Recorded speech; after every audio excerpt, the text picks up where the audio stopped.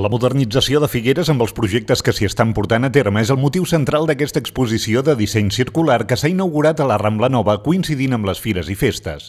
Es titula Les ciutats tenen ànima i ha estat dissenyada per Manel Gràvalos.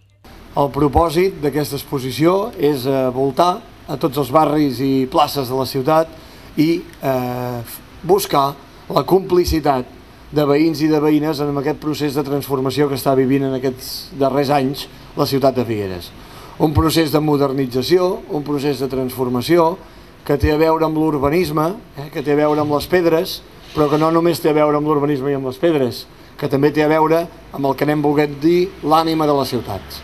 Ens sembla que en els temps que ens toquen viure, quan les ciutats han canviat tant la seva fesomia, quan tenim gent d'arreu del món vivint entre nosaltres, quan les expectatives respecte a la ciutat han canviat tant, és molt important que busquem estratègies de cohesió.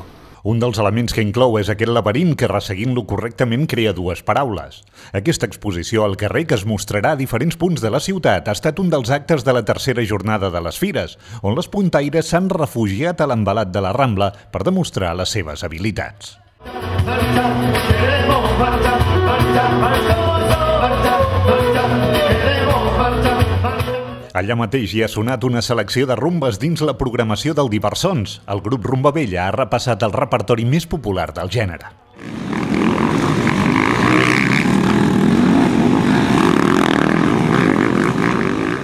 El Circuit dels Arcs, una prova del Campionat de Catalunya de motocross organitzada per la penya motorista de Figueres. 5 hores a tot gas amb salts i derrapades.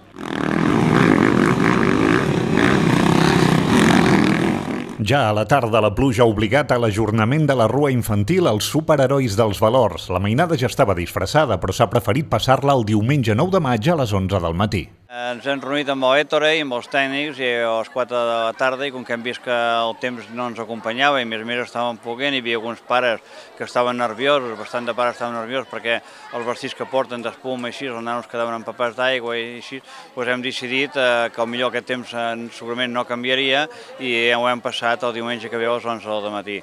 Novament, sota l'embalat de la Rambla s'hi ha concentrat un nombrós públic per escoltar i ballar cançons dels anys 60. Els Beat Shadow, al llarg de dues hores, han recuperat cançons dels Beatles, Los Bravos, Los Círics o Elvis Presley, entre d'altres.